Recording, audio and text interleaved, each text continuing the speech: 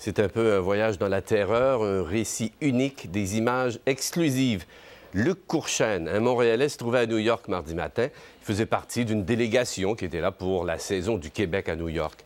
En sortant de son hôtel, il voit qu'une tour du World Trade Center est en feu. Il prend sa petite caméra, il filme. Il ne réalisait pas qu'il amorçait un documentaire sur un terrible attentat terroriste et aussi sur sa fuite hors de New York. Nous avons regardé avec lui ces images.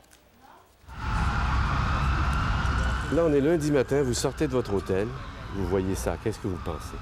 Euh, au début, nous, notre impression, c'était que c'était grave, mais qu'on ne soupçonnait pas l'attentat. On pensait qu'il y avait eu un problème quelconque. Vous ne saviez pas que c'était un avion qui, Absolument pas. qui absolument avait frappé pas. la tour? Non, c'était peut-être euh, trois, quatre minutes après l'impact. Et puis, bon, on se disait, là, on, on pensait à- aux gens qui étaient là-dedans. On, on essayait de... Parce que on vous essayait- avez vu même des gens sauter dans le vide à ce moment-là. Oui, je pense que ça, c'est. c'est- C'était. Enfin. Oui, on a vu des gens sauter. Ils nous semblaient surdimensionnés, plus grands que nature, Ah, c'est pour ça que Ça, c'est quelqu'un qui tombe à gauche. Oh shit. entre deux, deux, deux mots. Et je choisissais celui-là. Ça semble impensable pour nous, mais on n'est pas à leur place, quoi. Enfin.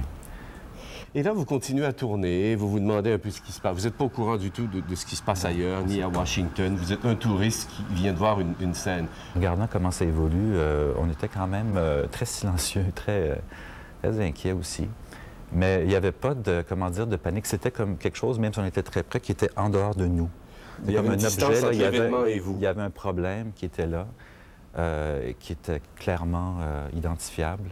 Mais on ne pouvait rien y faire, on n'était que des témoins sans, impuissants. Et puis, euh, mais c'était en même temps, euh, euh, c'était difficile de lever les yeux de cette, de cette image. Et puis pendant que vous tourniez, soudainement, est arrivé quelque chose au-dessus de votre épaule.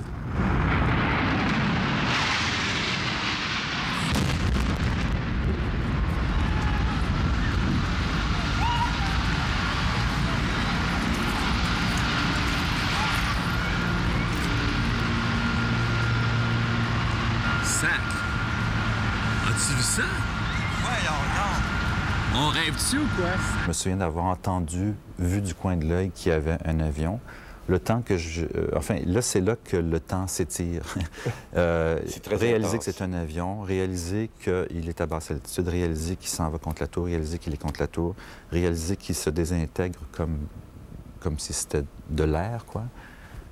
Et puis, ça prend beaucoup, beaucoup de temps avant qu'on fasse quelque chose avec tout ça et qu'on réalise tout à coup que là, toute la, la donne vient de changer. Là, c'est plus un accident, c'est définitivement un attentat. Et les gens étaient comment? Ils étaient abasourdis, énervés? Pas du tout. Euh, C'est-à-dire que euh, y avait en fait un genre de calme, mais mais il y avait comme par exemple quand l'avion est arrivé, c'est certain qu'il y a eu là un énervement. Les gens tout à coup ont saisi que c'était plus qu'un accident. Euh, que c'était un attentat. Et là, là, tout à coup, là, on se met à imaginer les conséquences, etc. Et là, tout à coup, on s'est rendu compte que c'était très grave. Et c'est à peu près à ce moment-là qu'on a commencé à se dire, bon, mais peut-être qu'il faudrait peut-être euh, se tirer de là. Et là, vous êtes rentré à l'hôtel Et là, donc, euh, on monte en haut, on appelle notre famille pour leur dire qu'il n'y avait pas... pour rassurer la famille. tout allait bien. et, et donc, on redescendait pour quitter les lieux, finalement.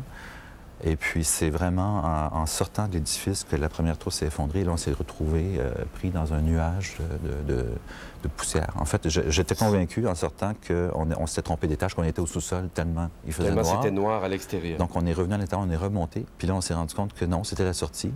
Et entre-temps, ça s'était un peu dégagé. Et donc, on a vu le, le- le- le- Hudson River. Et là, on nous a dit euh, couvrez votre bouche avec votre tissu, puis allez sur le bord de la rivière.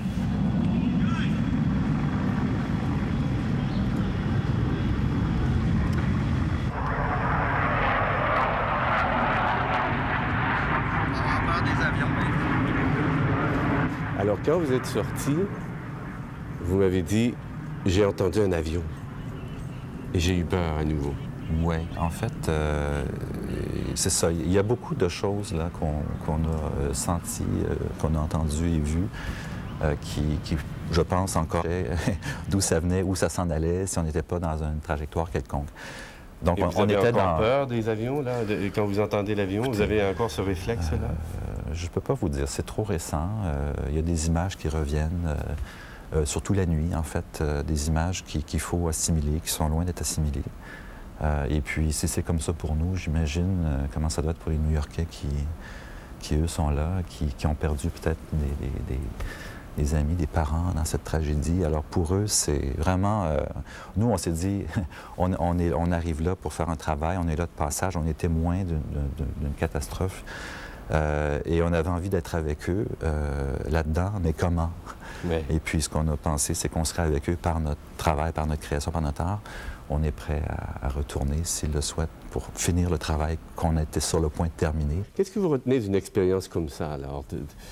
C'est sûrement la première fois que vous avez vécu un événement aussi immense. Bah oui, Qu'est-ce que vous retenez de ça? vous, vous êtes surpris vous-même? Écoutez, je ne peux pas vous dire, je suis encore à chaud, je ne suis pas à froid, il faudrait qu'on se reparle dans six mois, un an. Mais là, pour l'instant, euh, on est content d'être euh, à Montréal. Euh, comme tout le monde, on s'inquiète des conséquences d'un tel événement.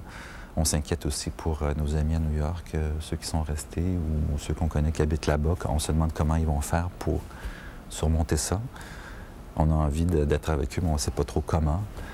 Puis pour ce qui est d'assimiler bon, ces images, cette violence, euh, puis en même temps la générosité que, les gens avaient les uns envers les autres, euh, il va falloir du temps, je pense. Et puis euh, j'espère que ça viendra. Mais il faut pas, je pense, il faut, faut, vraiment travailler pour ne pas rester avec des images d'horreur. Il, il, y a dans cette horreur-là aussi beaucoup d'humanité, et peut-être même plus d'humanité qu'on en trouve dans la vie quotidienne où les choses sont plus égales.